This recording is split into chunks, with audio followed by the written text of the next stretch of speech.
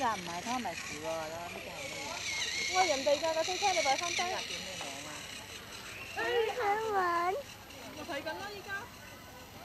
唔得㗎，嗰啲唔系你㗎，你攞咗你就系贼仔嚟㗎啦。唔开落唔知啊。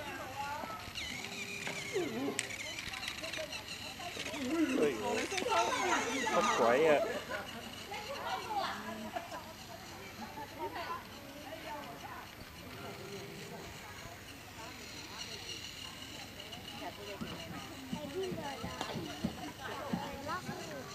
喎，呢个新车喎。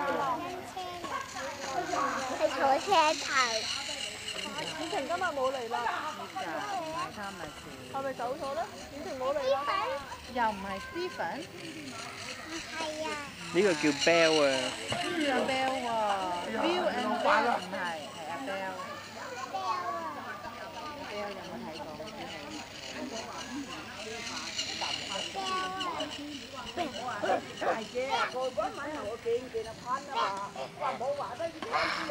嗱，因為我我我部車爸爸同你買嘢都可以咁樣行。你個路軌咧，你成日都唔砌，係咪啊？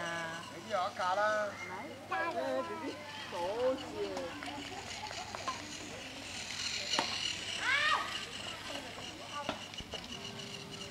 Hehehehe